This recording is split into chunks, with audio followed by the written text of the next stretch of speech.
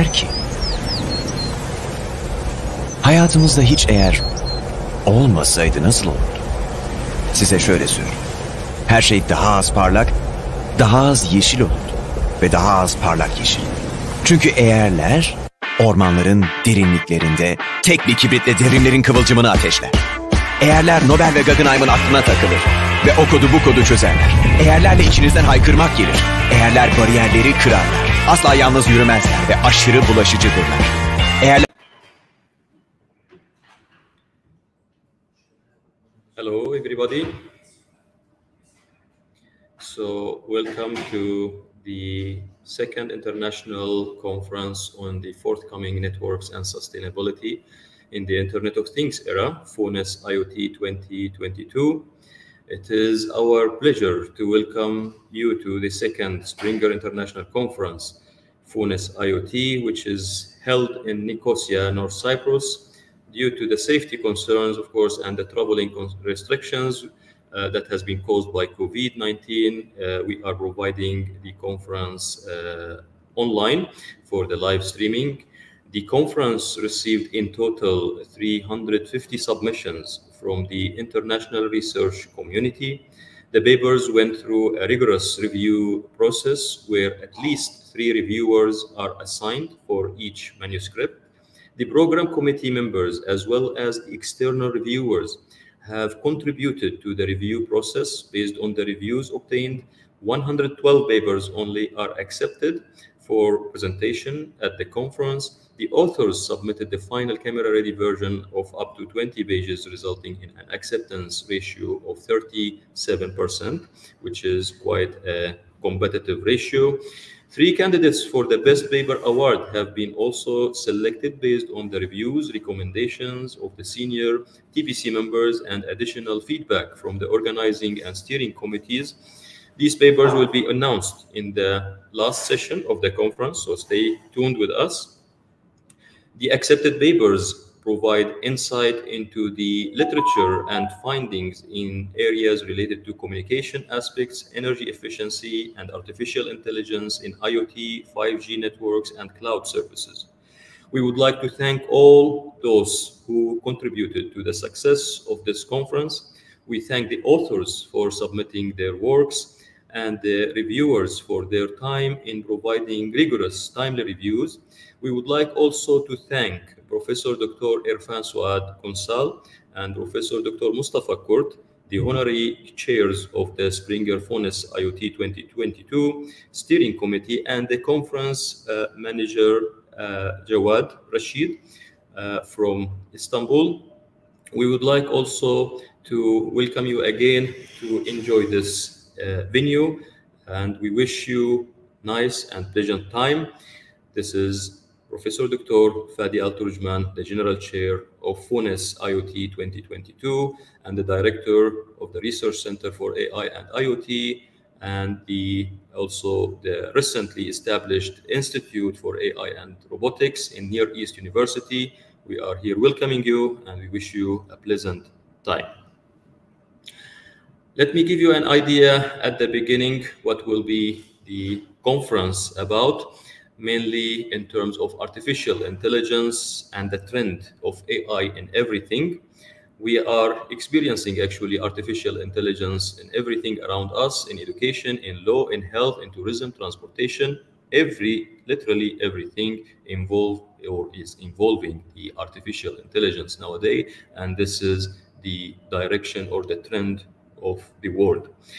So we would like to introduce you to the concept of AI in general. We will show you some uh, uh, applications for the AI real uh, life applications that we have been built here at the Institute of AI and Robotics at Near East University, in addition to other international ones that has contributed to the conference as well. We will show you some, or we will shed the light on some research areas as well in this uh, uh, era or field. And finally, we will conclude the conference with some uh, future direction for the research in this area. To be uh, short and uh, uh concise, let's first in introduction introduce the AI, which is uh, actually coming with different definitions nowadays. Some of them they say AI is pretending a human interaction. Some of them they say it is the learning and reasoning by machines. But I say it is the product of information processing. It is everything related to processing the information around us and make it useful for our daily life. And this is mainly the trend of the big data as well that has come a few years ago.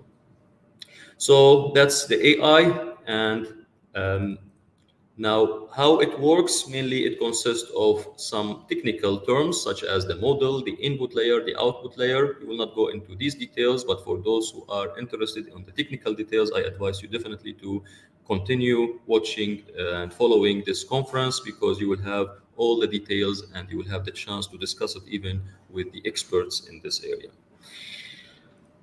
Where it is applicable, it can be applied in three main segments. The segment where we don't have any knowledge about the problem or the uh, aspect that we are trying to solve or automate. The segment where we have the full knowledge and the segment where we have half knowledge. The best one or the most effective one is to apply in segment number two, which is the segment where you have half of the knowledge and you want the machine to help you in pretending and detecting some extra features or uh, specific criteria in the problem that you are trying to resolve. What are the areas that we are applying AI in? Several areas, as I mentioned at the beginning. It can be in medical uh, things. It can be in uh, COVID, for example, that we are experiencing nowadays. And this is one of the important projects that here at Near East University uh, uh, we worked on, and we have some uh, real applications for it, mobile apps, web apps that are taking the CT scans images nowadays and uploading to the cloud and giving immediately the prediction for positive or negative cases and also tracking, help in tracking the patients to provide them better treatment. So this is one of the critical actually AI applications in the medical field. The other direction or field for AI applications is the smart cities that we are experiencing around us. And one of the actually uh, famous projects in this area was the China AI City that has been launched a few years ago, where they uh, launched a smart city that is utilizing billions of public camera cameras in the streets, uh, uh public uh, open source platforms to track, uh, monitor, and deliver the best service to the population in that city. Of course, there are many other uh, applications such as Google OK and other also similar uh, applications such as Alex and uh, Neo Rick that we will also introduce to you in this conference by one of the speakers, where we develop our own actually uh, platform that is working uh, in the same era where the user or the customer he just need to give the command verbally or using a touch screen or using face recognition to the uh, appliances that he has in his home in his office and the appliances will automatically work and optimize their performance.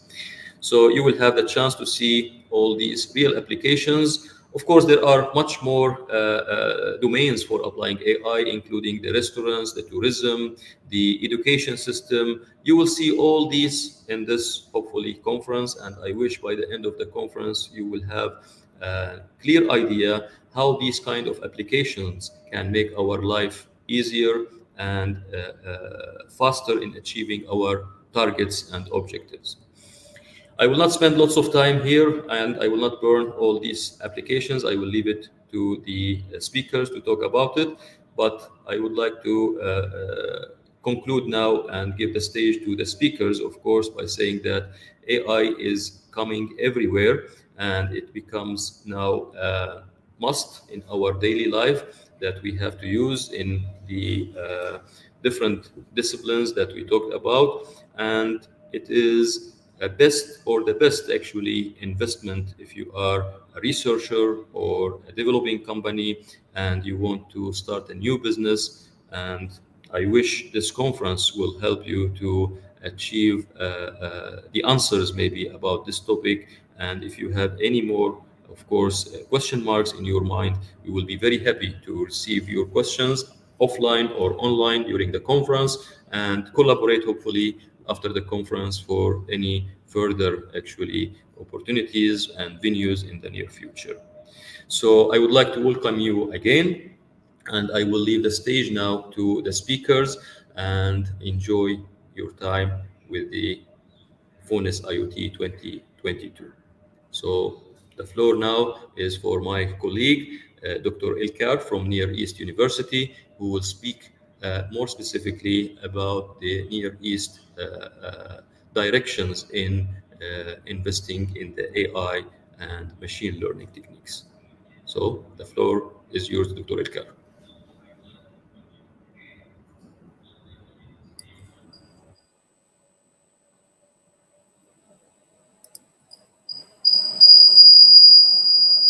Good morning.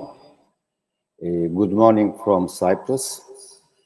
Uh, I want to thank everybody, the organizers, the people who are listening to me.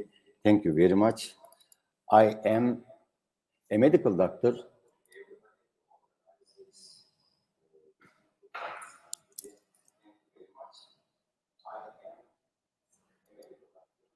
Graduated from Hacettepe University Faculty of Medicine in the middle of the other century.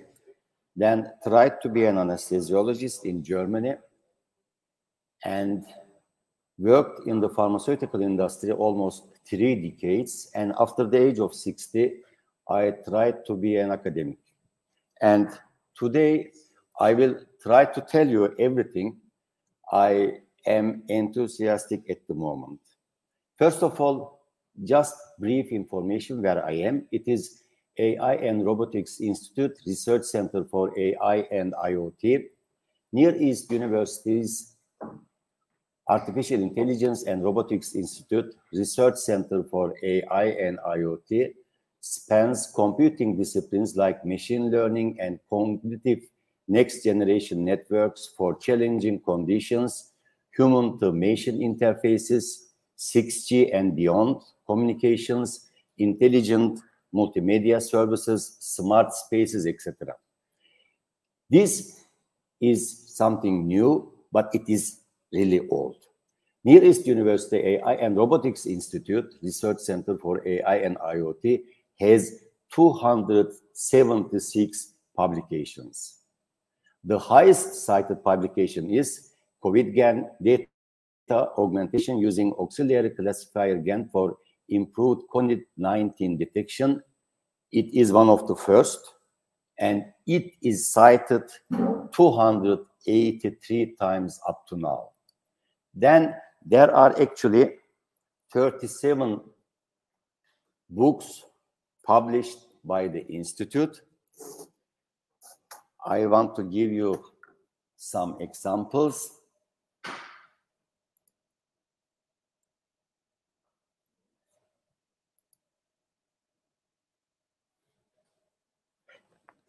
Look, those are the examples I have.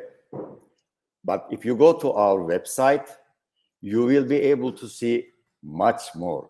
The total number is 36, and there are a lot of others coming actually in the very near future, in the next days, and they will be all available to service you.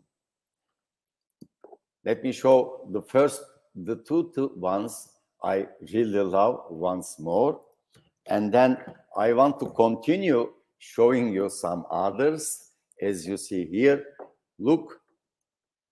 I mean, the ones I'm showing you are not really related with the healthcare, but what I'm going to talk to you after uh, this short information will be dedicated to healthcare, to medicine, as I am a physician.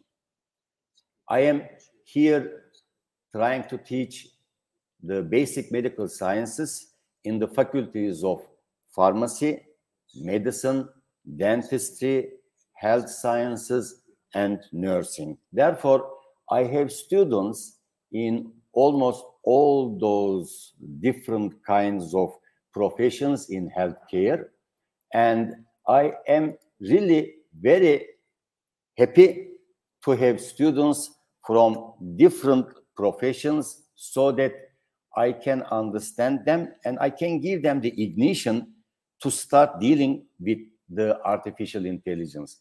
Those are the other books I could not show you. I have them here, but it would take a lot of time. Then forthcoming books, you see six of them. There were 85 conferences up to now and 12 workshops. Now, me and my artificial intelligence in healthcare or in health sciences, in 2019, I started teaching my students in different uh, faculties. First of all, as you see, there is only one which is obligatory. All others are elective and 71 students in the Faculty of Pharmacy, then 54 students in the Faculty of Dentistry, seven students from Health Sciences Faculty or Bioengineering, etc. 54 students I have now from the Faculty of Medicine, and 191 students from actually the Faculty of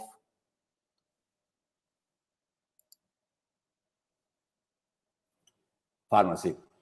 We had, after giving them the idea of what artificial intelligence is and what we could, what we can do together with them, that is the outlines of those courses we had one publication together with my two students, one from the Faculty of Pharmacy, one from the Faculty of Dentistry, decision analysis of the COVID-19 vaccines.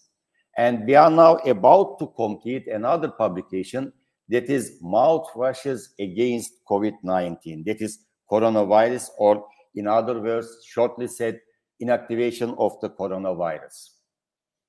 The, after that, I want to talk about my target, my future, my vision, my dream.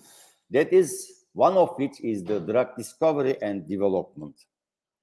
There is a publication, not old, from 2020. They included 63 new therapeutic drugs out of 355 published in uh, JAMA. And they say the development cost per product is something like 1 billion. If you go through the literature, you can see up to 2.8 millions of expense or cost per product development. That is a huge amount of money. Good, but when you look at it, you see nine of 10 drug candidates failed between phase one trials and regulatory approval, making this process little bit expensive, little bit more expensive. And also, out of 10 products which we can make available in the for the patients, uh, one out of 10 can be feasible. That is, we all know it takes a long time, up to 15 years, the development. And in the drug discovery and development, there are a lot of areas which I will try to concentrate on the clinical trials, the repurposing, and discovery parts mainly. Uh, we can use artificial intelligence to make that development faster, easier, and cheaper. Those are very important in terms of when you see or when you remember the normal cost of 1 billion US dollars to develop a product. Let's talk about clinical studies.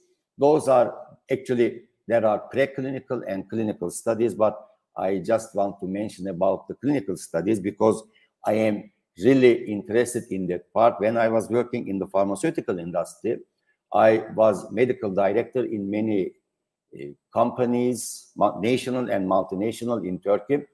And I was uh, dealing always with clinical studies.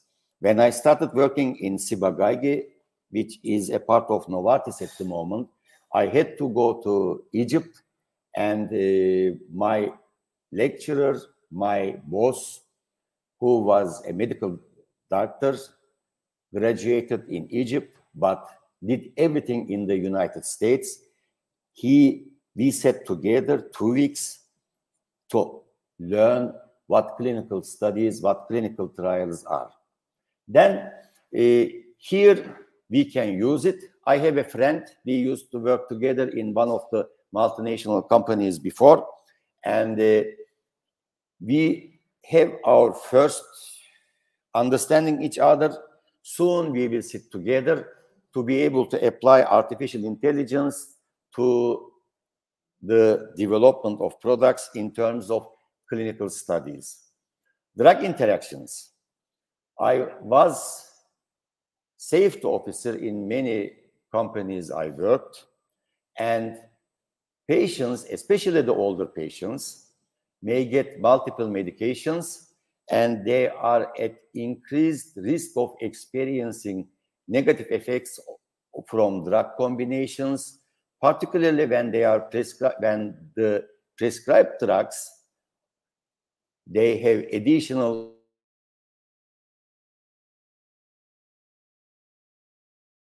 in terms of helping us detecting those kind of artificial intelligence there are many examples. Drug repurposing is something which we all know. It became more popular after covid-19 now for example there is a very nice example of uh, products which are developed for different reasons, but now are indicated in the treatment of different uh, diseases. Intellectual property challenges is very important. When the products are developed, there must everybody tries to get it under patent protection, and artificial intelligence helps the companies to enlarge the patent protection. From the other side, artificial intelligence can also be used to find locks in the patent protection. There is a company in Smyrna, Turkey. We have first connection. In April, we will sit together to work, especially on that area, which is very, very, very important. Then I want to uh, emphasize a couple of other things. First of all, uh, large companies do not actually all invent most of the drugs they sell. When I was working in one of the multinational companies, I registered an antibiotic which was actually discovered by Pliva, a company from Croatia. And that company, multinational company, got the product, developed it, it is still available in all marks all around the world. That is azithromycin. That is another thing. If we can discover molecules which can be effective in different areas, we do not need to develop them until the end. We can sit, talk with the multinational companies, and we can develop it together so that it can be much more feasible. You see, every day there are many companies, artificial intelligence using uh, startups, a lot of companies trying to use it for their drug discovery and development and also pharmacovigilance. That is the interactions part. And I want to thank you all after I have this uh,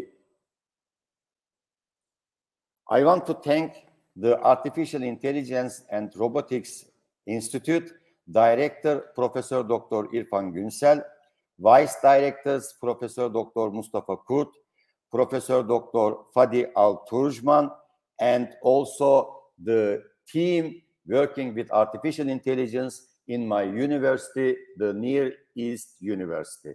Thank you very much listening to me. If you have questions, I will be very happy to answer them.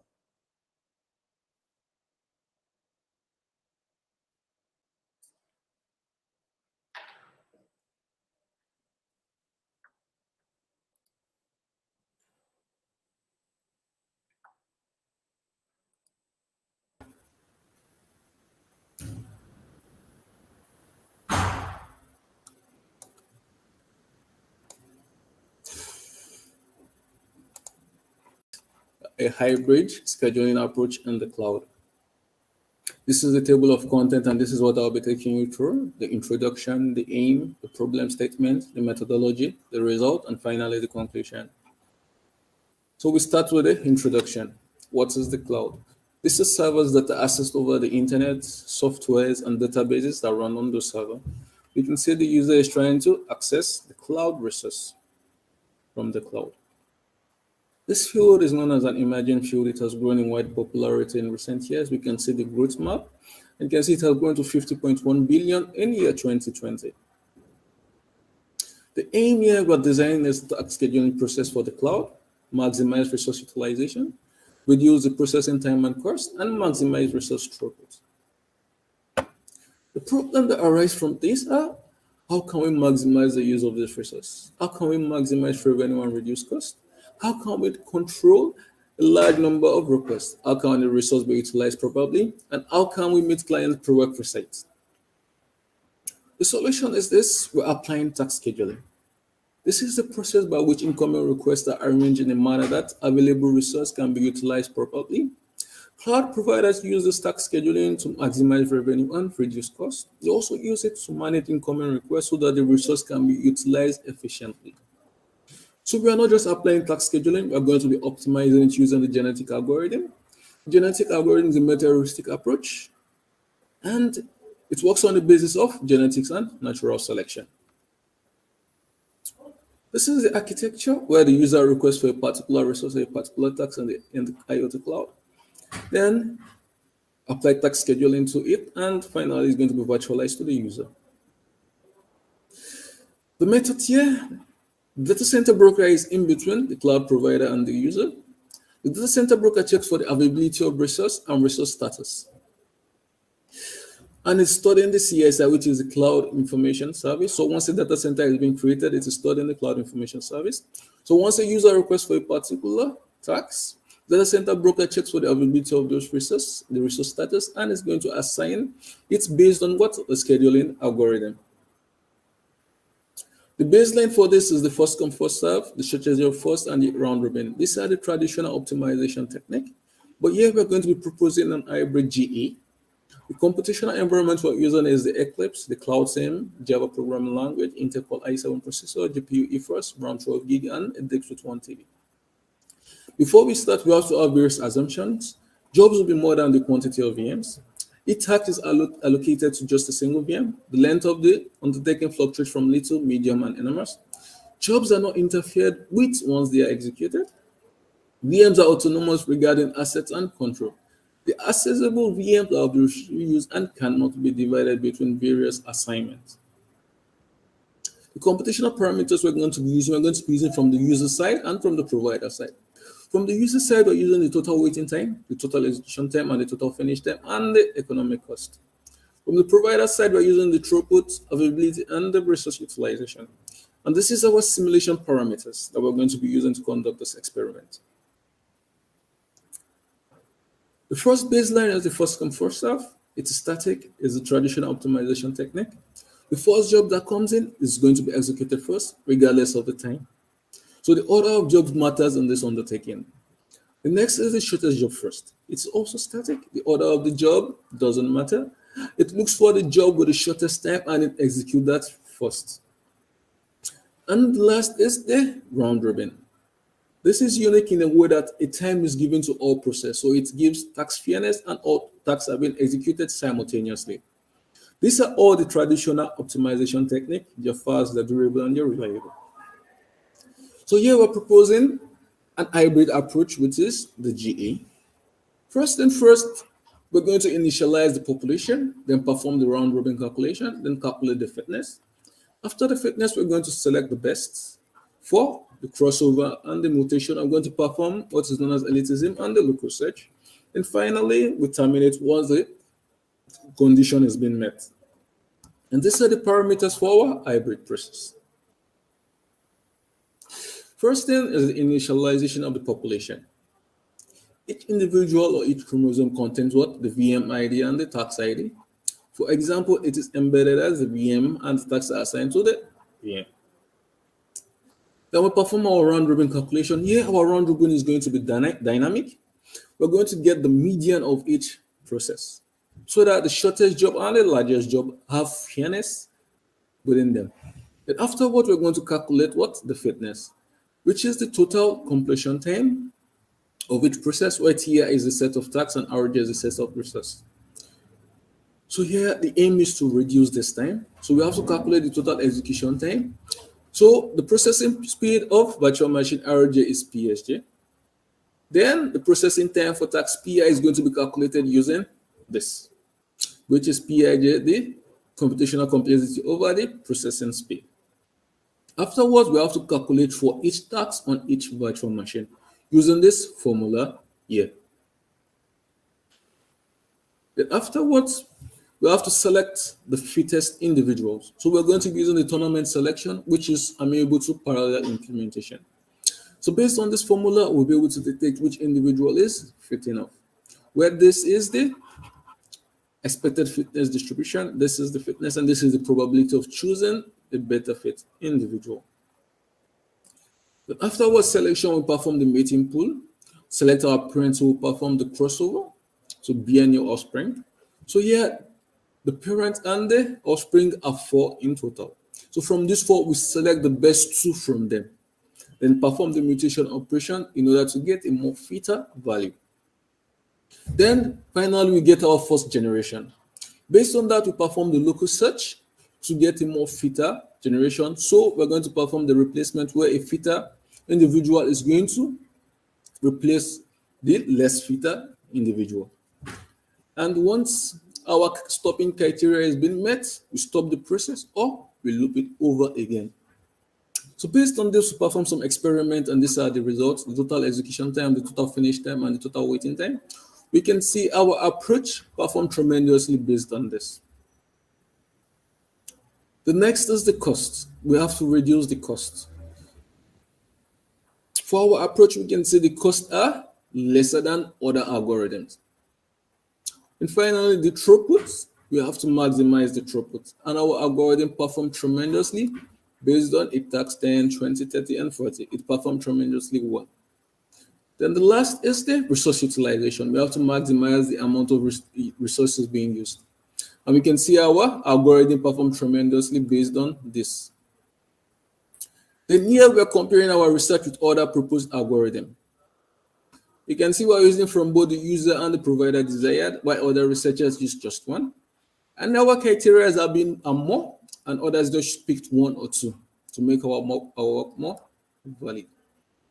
So the conclusion, we designed the task scheduling model for the cloud. Baseline for our model is the first come, first serve, the social first, and the round robin.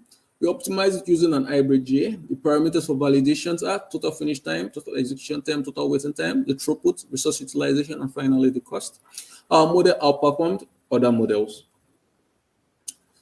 The future work will be improving it with other scheduling algorithms. More parameter criteria will be used, improve the use criteria, and more optimization technique will be applied. Thank you.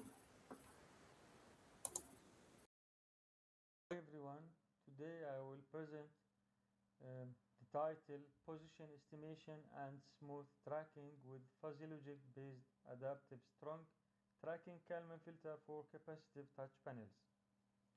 The outline will be as shown in the slide introduction. Objective Capacitive Touch Panel CTP. Hi everyone, today I will present um, the title Position Estimation and Smooth Tracking with Fuzzy Logic based Adaptive Strong Tracking Kalman Filter for Capacitive Touch Panels. The outline will be as shown in the slide introduction. Objective Capacitive Touch Panel CTP Moving Average Filter MAF Kalman Filter Strong tracking Kalman filter, fuzzy logic based adaptive strong tracking Kalman filter, and MATLAB implementation results with conclusion and future works. The introduction of capacitive touch panel that uh, firstly many applications of CTP uh, have been used in mobile phones, digital cameras, navigation system, TVs, and uh, PCs. Uh, it has uh, many components such as resistive touch panel and capacitive touch panel. Uh, the resistive touch panel that consists of two thin, transparent, and conductive layers such as uh, indium tin oxide films which are separated by narrow gap where capacitive touch panel uh, has been achieved because of its sensitivity, excellent uh, durability and multi-touch functionality. But uh, CTP uh, is affected by noise produced by finger trembling, environmental magnetic interference or process variation leading to the inaccurate prediction of touch positions and zigzag output. CTP system consisting of controller system.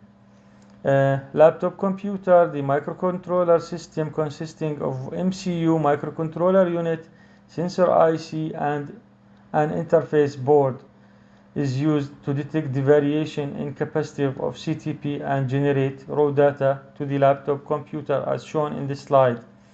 The sensor IC receives commands from MCU to scan CTP by using self or mutual capacitance sensing method. The sensor collects analog signals which are transformed into digital data via analog to digital converter before transmitting these data to MCU and then generating raw data of digital data MCU also determines whether CTP has been touched or not. The laptop computer receives raw data from USB interface board at the reporting rate of 100 Hz when a touching event occurs. On the other hand, signals that are sensed by sensor IC must be uh, processed because they are always contaminated by noise and finger trembling.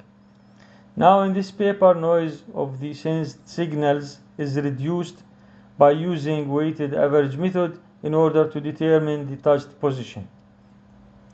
The objective is to mitigate the effect of measurement noise and provide a smooth tracking trajectory at different speeds. When the touched point is sensed from x1 to x4 in the x-axis and from y1 to y4 in the y-axis. The touched location x2, y2 as shown in this slide to clarify the problem of single finger is recognized by measuring each row and column channel. Hence, two sine waveforms from x-axis and y-axis are extracted from sensor IC locate the touched point by weighted average method. The figure shown uh, the contaminated sense signal in the actual touch conditions as affected by noise and slight change in capacitance of touched point.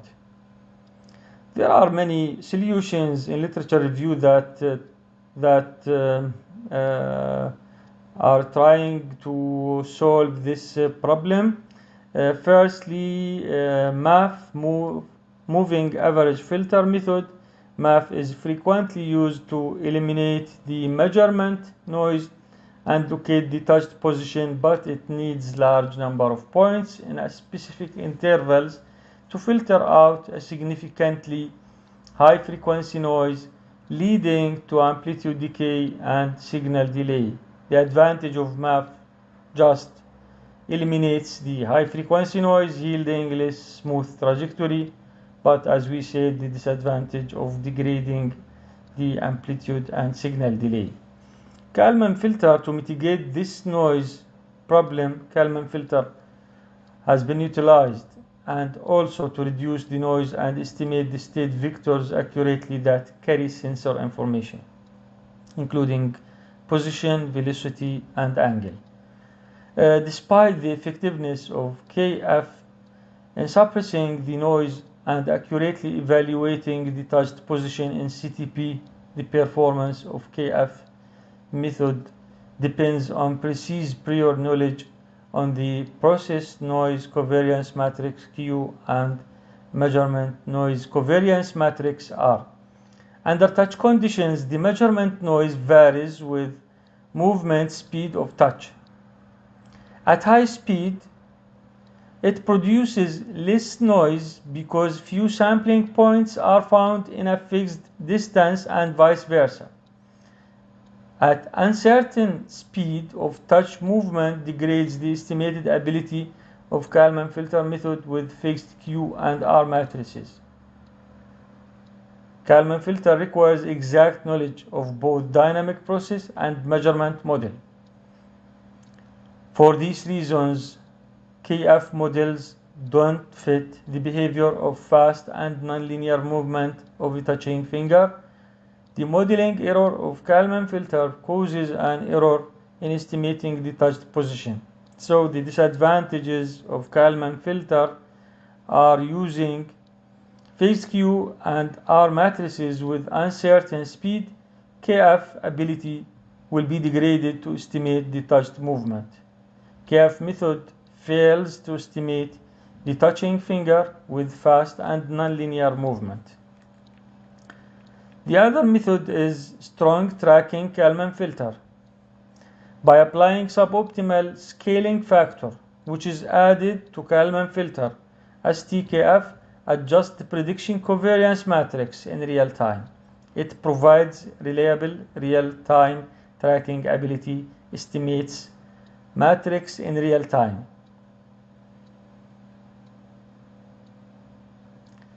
to estimate the touched position with satisfactory precision when movement in fast and nonlinear subsequently yielding a predicted trajectory that matches the actual trajectory. The disadvantage of STKF is failure in estimating finger movement with low speed, but the advantage of STKF that success in estimating normal and fast speeds of touched position. However, if the movement at low speeds yields significant amount of measurement noise, then phased Q and R matrices of Kalman filter and STKF methods fail to capture the measurement noise accurately, subsequently degrading the filter performance and yielding errors when estimating the touched position. The proposed method is to integrate STKF with fuzzy logic to improve tracking ability of CTP system, which is known as fuzzy logic based adaptive strong tracking Kalman filter.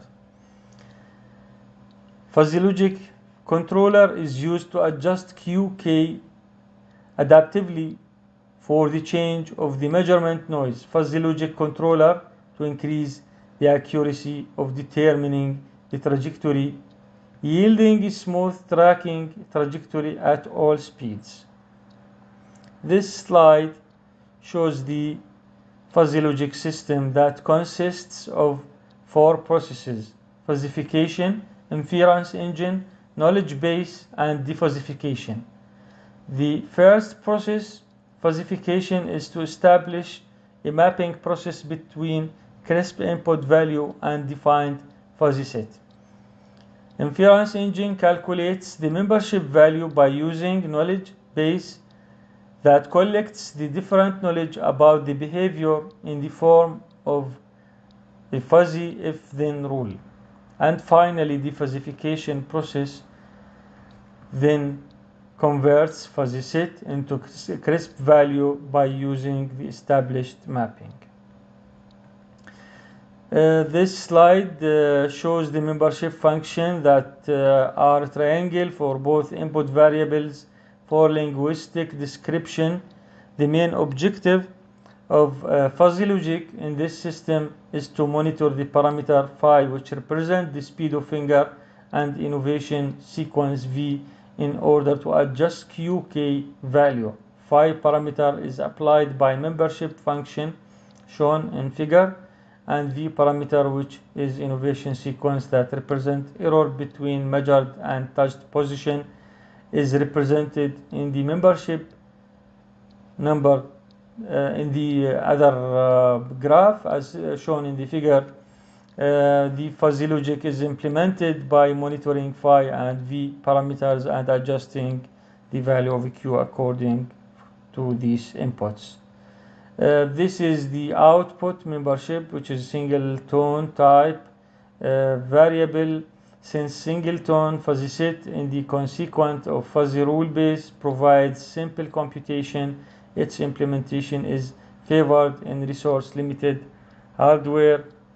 Therefore, the processing time is reduced using singleton type membership function, but the representation of this membership function uh, as shown in the figure where uh, Mamdani doesn't support singleton. So I first selected triangle membership function and then uh, made uh, them as narrow as possible with unity to be in the shape resembling the original singleton.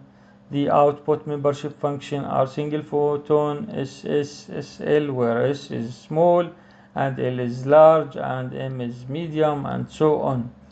The rule base uh, depends on the uh, movement of uh, finger so if the movement speed of finger is normal phi is uh, M and innovation sequence V is small so V is S QK designed to be normal value if the movement speed of uh, finger is low and innovation sequence is small uh, V is uh, S, so the value of QK is to be a smaller value. If the movement speed of finger is fast and innovation sequence is large, then QK is set to be larger value since larger value of QK supports fast tracking and uh, if the movement speed of finger is normal and innovation sequence is normal then QK is designed to be normal value as ML um, the results uh, shown in the slide estimating the touched position using this proposed algorithm yields favorable trajectory smoothing, smoothness when QK is adjusted to eliminate the variation of measurement noise. This figure shows the error in proposed method which is displayed in V parameter as an innovation sequence that the representation of error between measured and touched position. Uh, conclusions Fuzzy logic controller is used to solve the problems of unknown nonlinear functions and uncertainty. The approximation and estimation of function in many applications are achieved uh, to overcome nonlinearity and uncertainty. CTP is an application of unknown nonlinear function and uncertainty where the sensor detects the touching of touch panel and decide if there is an error or not. STKF was failed to estimate the movement finger with low speed, the low speed problem is solved by FLAS TKF method that is used to measure and quantify the smoothness of touch trajectory, the performance of FLA STKF has been evaluated and it was shown that it can successfully achieve an accurate estimation of touched position. The fuzzy, the fuzzy logic uh, integration with STKF future work can be used uh, with the localization algorithm to deal with unknown nonlinear and uncertainty functions in order to increase the accuracy with random based wireless sensor network. On the other hand, it can be used with adaptive filter with fuzzy logic system to reduce the error resulting from nonlinear systems such as target tracking.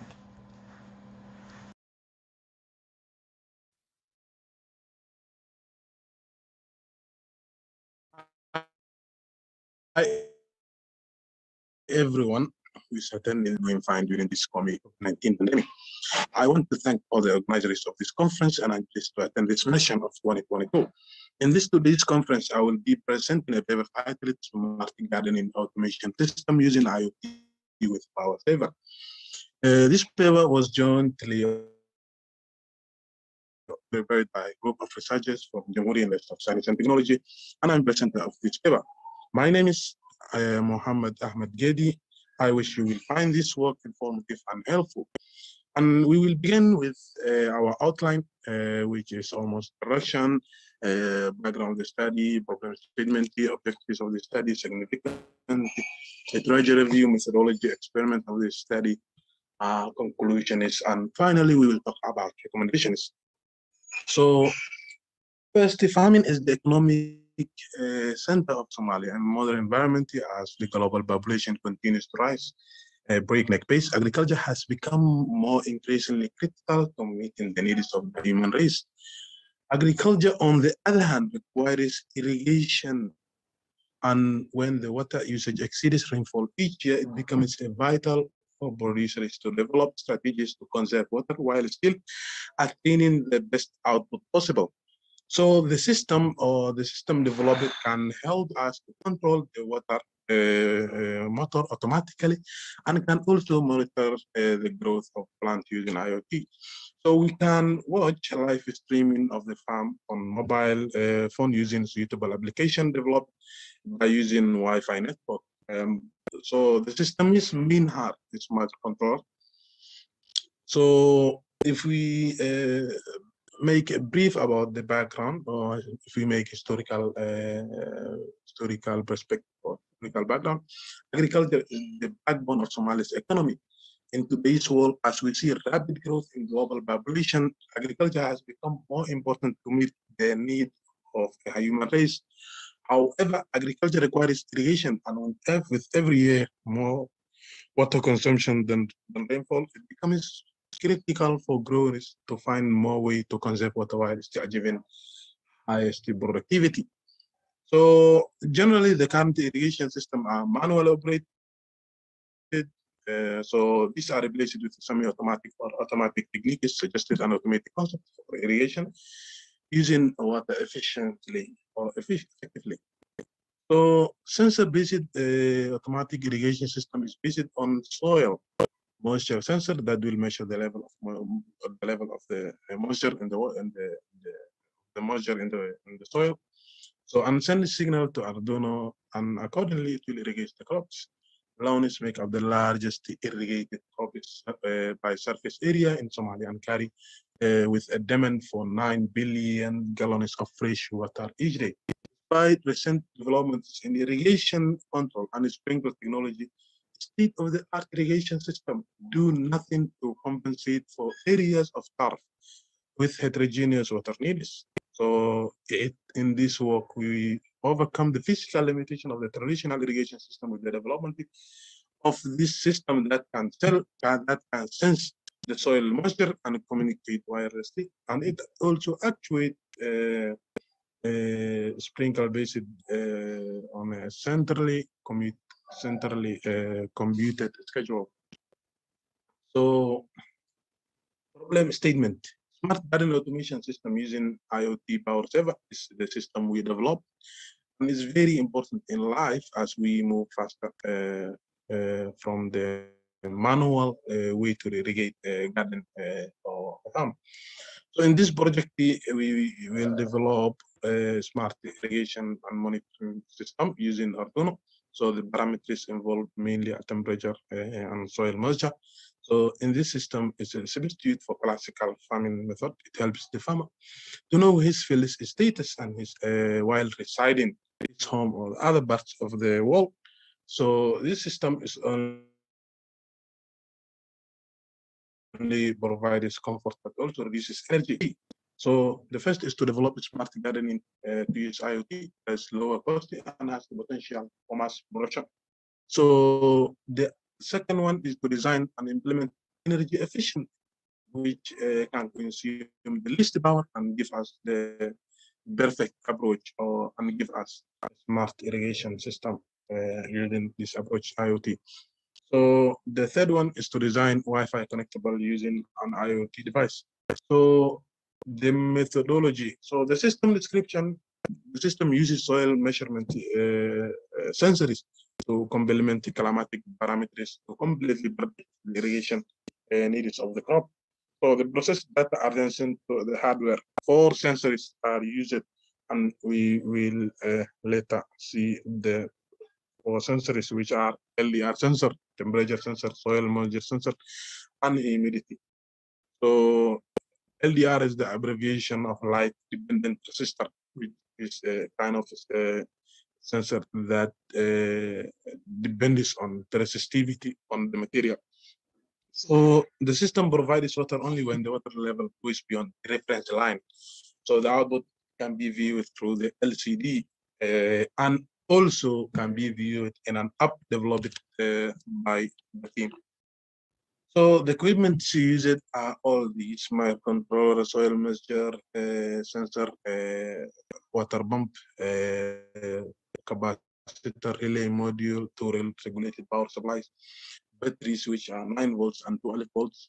We use resistors and we also used LCD as an output device. So the overall system are shown in this figure. So you can see the red, the green bucket, uh, which contains soil and it's uh, dipped by the, the moisture sensor. The other uh, bucket is filled with water and there is a, a, motor inside it which can carry the, the, water through the place that's needed for it. So the main block diagram of the system are these we used for uh, uh, sensories as an input device. We power the microcontroller and we uh, use uh, the Wi-Fi module to connect to an app. We also use LCD display uh, to uh, show some results on the status of the of the of the soil. So we use the relay then connect it to the DC motor, uh, which uh, uh, makes the drive the DC motor and carry some water to the plant. So we also use it driver circuit for the lights, so DC LED lights. So this is a NodeMCU used uh, for the system So this NodeMCU uh, uh, helps us to uh, connect uh, to null uh, app um, application device. So these are uh, two power supplies connected. this, this, this is the power supply circuit which is connected to our system. So these are the two relays and the two batteries used for this project. So water pumping. So the main function of the water pumping is to the water. Uh, we used a submersible uh, pump mini water. So for fountain Garden is that is it's used for fountain uh, DIY projects. So this is a low cost small size uh, pump which can be operated uh, from uh, 3 to 6 volt power supply per hour with very low current consumption of 120 uh, milliamps. So just connect your pipe to the motor outlet, submit it into the water and power it. So if you are using this kind of uh, water pump, you have to make sure uh, that the water level is also higher than the motor. Uh, dry run may damage the motor due to heating, and it also uh, produce some kind of noise. So this is uh, the water pump that's inside the, the, the, the pink uh, bucket and it used uh, for irrigation. So this is the output of the system uh, and this is one part of LCD and the other part is the, the right part, the application uh, developed.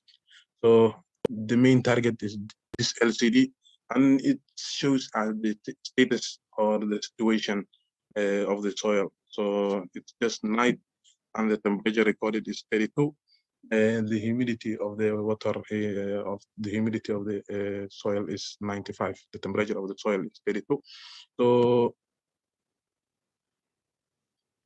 conclusion. This is of this project the, the, this report has been designed and uh, tested successfully this project so it has been developed by integrated features uh, of all hardware components used. The system has been tested function automatically. The moisture sensor measure the moisture level of the different plants. if the moisture level goes below the desired on limited level, the moisture sensor sends the signal to the Arduino board, which triggers the water pump to turn on and supply the water to the respective uh, uh, plant to, to, to irrigate. So the water, uh, when the when the desired moisture level is reached, so the motor pump uh, turns, turns off and starts uh, uh, stops uh, the flow of the water. So the functionality of the entire system of the entire system has been tested thoroughly and is and said to function uh, successfully. So we recommend the recommendation we would like to recommend people to use uh, future researchers to use SMS uh, uh, module in their system uh, to make it easy people who don't have smartphone uh, to uh, get a report easily while they are residing in their home. for example, if you are using a non-smartphone, so it's it's very simple. the future researchers, researchers might make or might fill this gap. Uh, so there are many other systems that we can use, uh, whereas like GB, GPRS or GSM to address our needs. So then we can get rid of the complicated software. So everyone who cannot program as much as possible, be a that doesn't need software can make it easier for us to connect to our mobile. So I hope you are uh, uh, you fully understand. Oh, thank you. Any questions?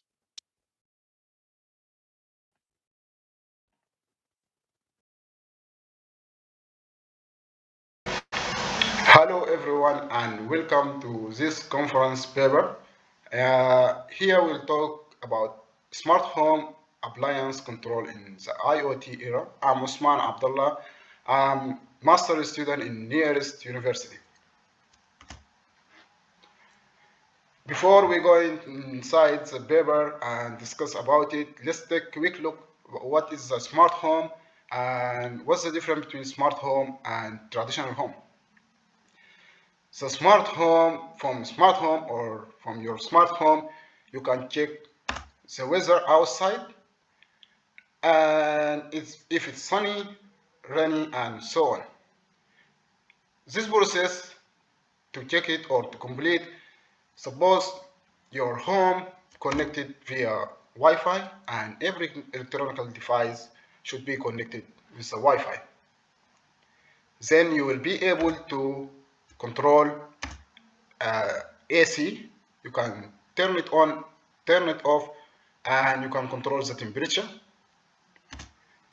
And also, very easy, you can control your light switching on and off and this process will go in with a smartphone to access your appliance and control it. And also you can play your favorite music and watching your favorite show. Also you can control the TV. You can access your home from your laptop if you are outside and control your appliance and also you can control with your tablet.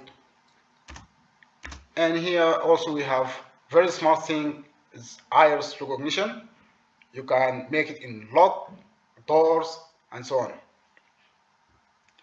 So the smart home or smart house uh, this technology smart home technologies is increasing day by day and, that, and that make our life easy, simple, and very comfortable. Uh, here we have similar project. Uh, in this project, we use the brain uh, microcontroller, and we have relay module, and we have manual switch. Also, we have Amazon Alexa. First thing we have to control, uh, to connect the uh, manual switching with the brain or the process microprocessor. And also we must connect the relay So the relay is the convert the voltage from high to low and vice versa. After that, you must connect the ESP32 with uh, Wi-Fi, of course, and then you will be able to control or you access your CCTV. You can control your fan, light, and your TV with voice command. And the problem here is this method is only use one method to connect and that method is the Wi-Fi connection and also other thing one more additional thing this method will work in local LAN so if you forget anything on and you went out so you have one of two choice. Come back or leave it until you come back after you finish your work. And also here in other example other similar project we use uh, ESP32 and we connect it with uh, Wi-Fi and we connect it with Blynk cloud server to connect uh, ESP with uh, server. You must download uh, Blynk application. And also you have to register in this application. Then they will send you like serial number in your email. This serial number you have to uh, put it in your code. And also you need to download library Blynk server library and upload it in ESP32. also this application is over two methods Wi-Fi or Bluetooth. And you can choose one of them to connect to control your uh, appliance. And also uh, if you choose a Wi-Fi this Wi-Fi will work in local uh, area network and in this slide I want to mention something the IoT microcontroller is not just for uh, control lights, control uh, fan and AC. Uh, also there is many of application you can use it. Uh, as you see here, we used uh, or he used this uh, microcontroller to plant monitoring system. You can use it in water system, you can use it in smart city, like smart education, smart parking, and so on. There is really many applications to use uh, IoT microcontroller. In our literature review, we have comparison between uh, our app and different app. We have Neo app and we have different method to control the lights or uh, any electrical device in your home. Uh, you can control it with switch button, voice command, or fingerprint. Uh, also, we have face detection. Also, we have three main methods to connect with your uh, any electrical device. We have mobile data, and we have Wi-Fi, and we have Bluetooth. So we can use Bluetooth if you are nearby your home to connect. If you are outside your home or so far or outside the country, you can choose one of two Wi-Fi or mobile data. In other application, for example, Android, uh, Arduino Bluetooth controller, we have only switch button and voice command. And there is the only method to connect and that method is the Bluetooth. And also in Arduino voice controller, we have only voice command to control and we have one method to connect, is the Bluetooth. Also, we have Arduino Bluetooth controller design and also it have switch button and voice command and only one method is the Bluetooth. Arduino Wi-Fi LAN control. We have a switch button and we have Wi-Fi.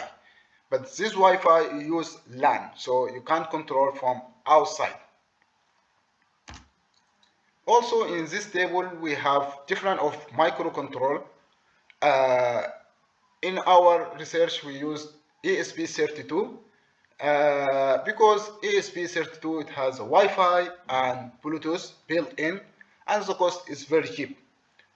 in Arduino, we, you need uh, uh, external Wi-Fi and external part of Bluetooth and also is cheap but after you buy the external stuff the cost will increase. In Raspberry Pi it has uh, Wi-Fi for Bluetooth you need external part and it's very expensive. Uh, in the new version of Raspberry Pi actually they they have a built-in Bluetooth module but still the cost will be expensive. Here we have system uh, architecture. We have three main methods to connect Bluetooth, Wi-Fi, and mobile data. So from our mobile app or mobile application, directly we send a command to ESP32. ESP32 sends the command to relay. So the relay will convert from high volt, from low volt to high volt, and then you will you can control your electrical device. Here we have flow chart and how the process work. We have two methods. So uh, from start to end, first things application will check if you are connected uh, with the Bluetooth or not. If no, you will going back to start. If yes, you can access your data and send the command to ESP and ESP send it to uh, relay. Send relay will control and switching on and off. Here, if we choose uh, Wi-Fi connection, first things the application will check if you are connected with Wi-Fi or not. If no, you will go into start. If yes, you can access. Send the process send it to ESP32 ESP32 will send it to database. From database, going back to relay, and the relay converts that volt from low to high, and you can control the light and switching. If it if it on will be off, if it off will be on. Here in our result, we make experiment, uh, explanation with a different type of uh, mobile smartphone. We have uh, S20s Samsung and we have Samsung S9 Plus and we have Huawei Y9 and we have also Tecno, we have Note 9 and also laptops. And we see here laptops is scored the best result and that why because the laptop have high uh, type like big size of RAM and also the high speed of CPU or processor.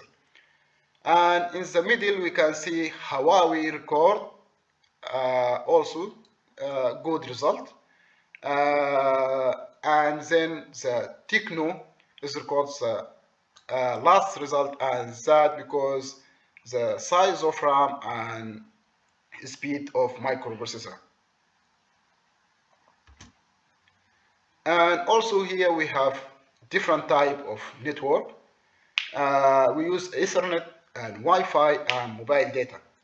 So the Ethernet is record or scored the best result and that because the Ethernet giving you the full speed is not like mobile data or Wi-Fi shared the speed with uh, other users. And also the Wi-Fi records the second uh, result uh, and mobile data is the last result. And also here we have different type of RAM and responding time. Uh, 8 gig RAM is record, scored the best result and 4 gig RAM is the last result. And also here we have uh, uh, the cost between ESP32 and Arduino Uno device and uh, Raspberry Pi. So you can get the same ideas, the same project, but with a different uh, cost. In ESP, you have everything, no need to uh, buy external part, and the cost is like 42.12 dollar. And for Arduino, after you buy external part, it's like 60.70 dollar. For Raspberry Pi, it's 168. Uh, 49, 48. So Raspberry Pi is very expensive and we know now why it's very expensive. And here we have CPU speed of microcontroller. Uh, for ESP, it's like 240 megahertz per second. And for Arduino Uno, it's 16 megahertz. For Raspberry Pi, it's 700. And now we know why the Raspberry Pi is expensive. Uh, but for ESP32, the, the speed is acceptable. It's not too fast and not too slow. And here we have a screenshot from uh, web page control.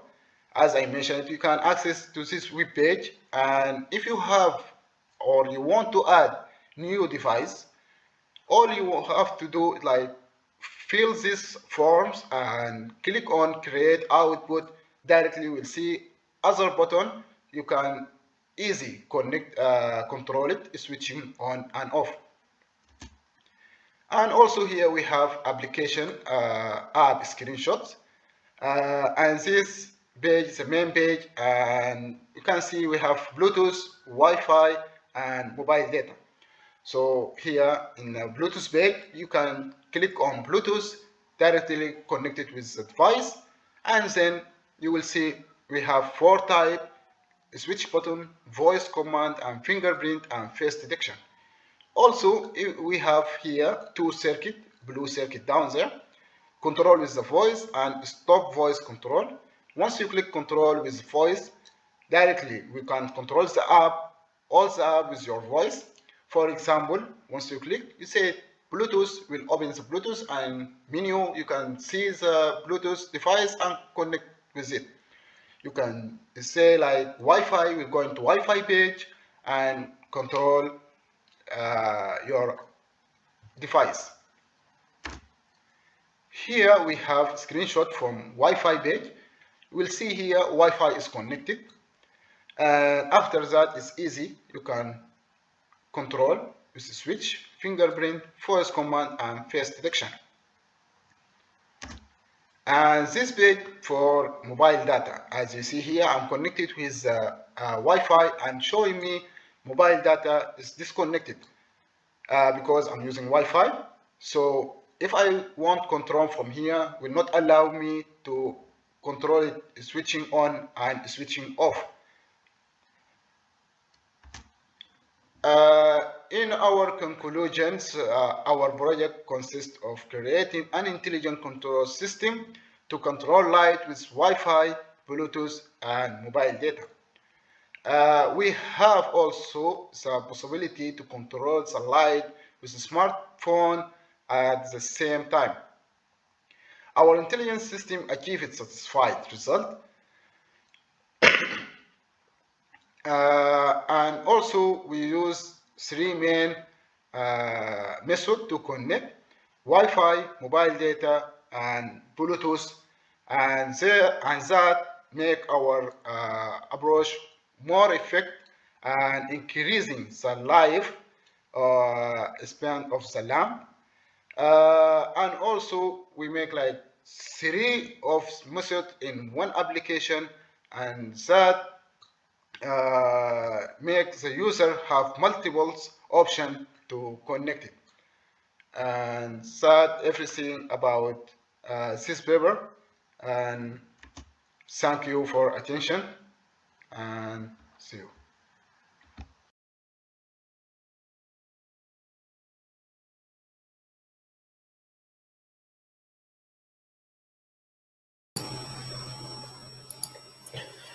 Hello. Um, welcome all. Um, today, I would like to present a paper, a framework for pothole detection via the AI and blockchain integration.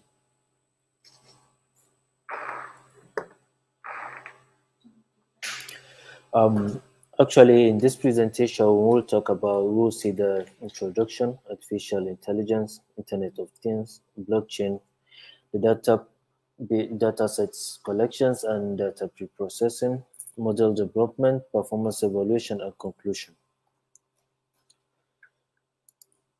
So actually, um, roads uh, contribute significantly to the economy and to the all activities of human beings. So it is also very important to understand or to find out um, things that uh, can be an obstruction to people's health and other things. So, for example, when we look at potholes on roads, they cause a lot of accidents um, in the world uh, on yearly basis. So, it is good or important to develop a model that will detect potholes and then at the same time will alert um, users of the road so that they should be cautious and in order to prevent accidents and other um, damages. So first of all, I would like to briefly talk about um, um, artificial intelligence.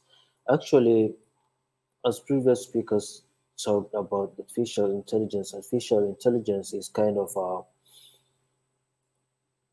it's a way of making um, a computer or a machine to make useful decisions, like intelligent decisions.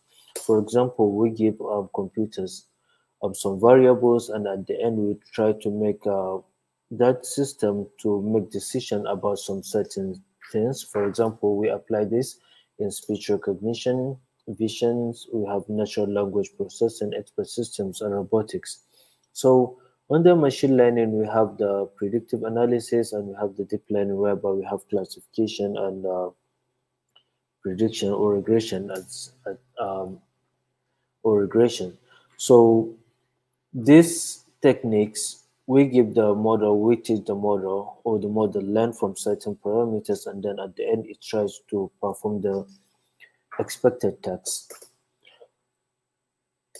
So also, I would like to discuss about the Internet of Things.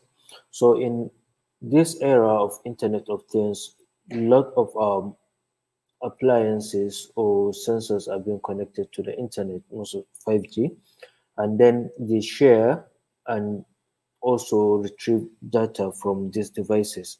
So smart cities are being coming up this time around, whereby almost everything, the door locks, um, sensors, everything are being connected to the internet. They share data and then they make decisions using artificial intelligence in this era. So the Internet of Things um, is something that is coming up and that we have to live with it in the nearest future. So also we have the blockchain, whereby it's uh, a distributed ledger. Actually, records are being stored and then they are being like a kind of formatted in such a way that, for example, when you look at people's fingerprints, you know that everyone has a unique fingerprint. So we try to hash this data and then so that it can have a unique um, identity and then we share it among the blocks. So even if someone tries to tamper with the data, so there must be a consensus on that particular data. If the consensus is more than 50%, then that node will be allowed to change. If not, then it will be there and nothing will be changed from one block to another.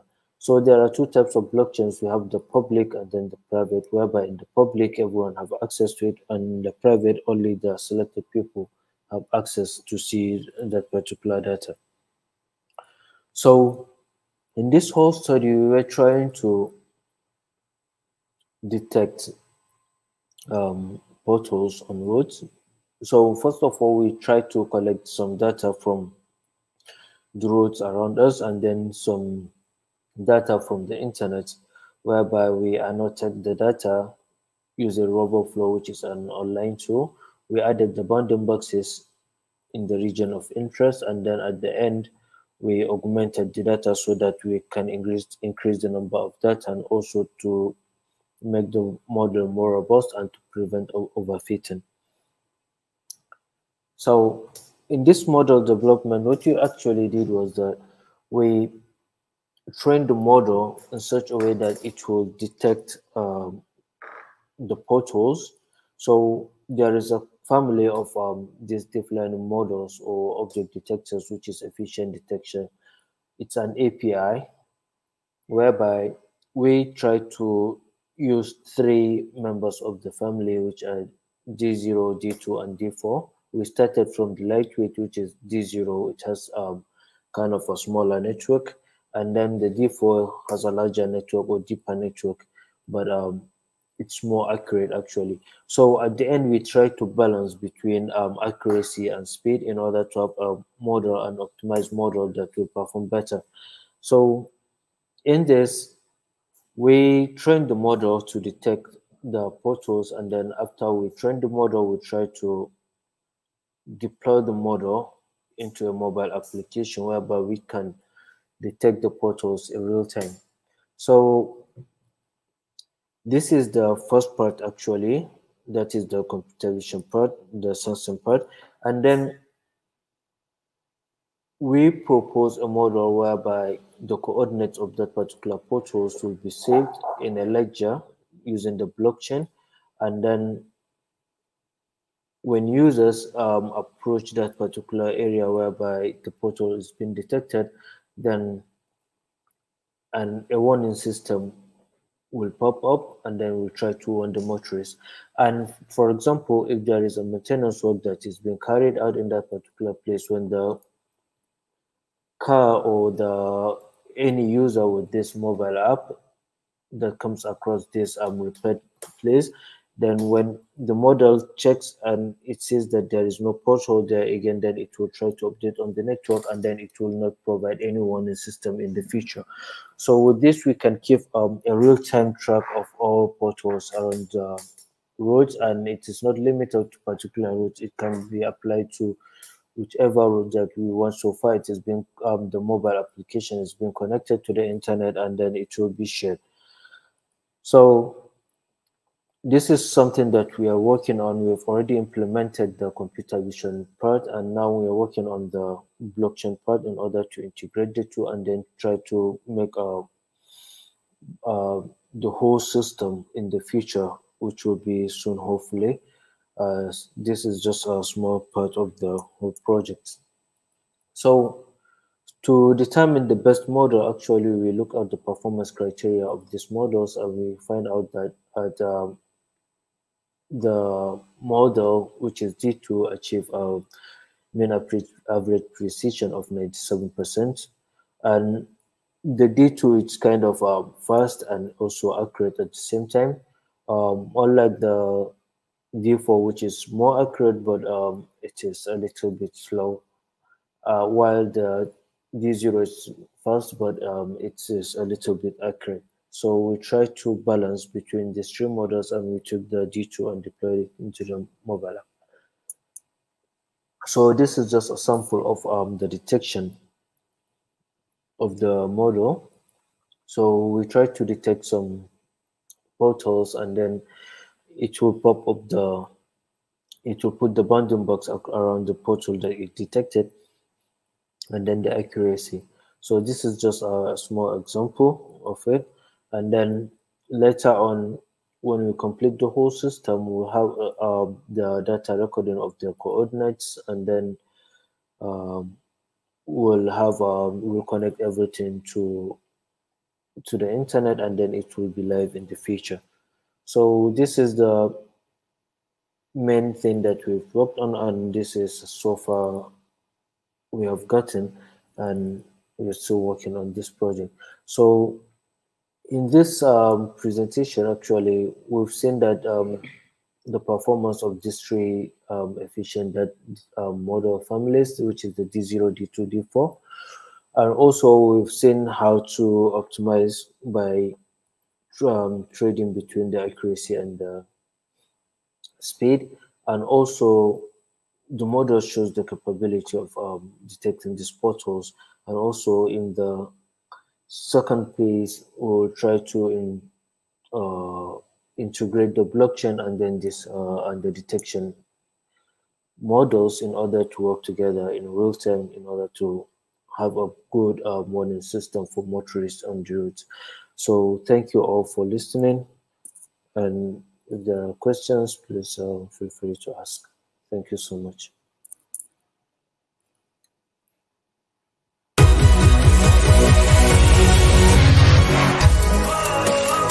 got you in a boss. Never looked in when it's really dark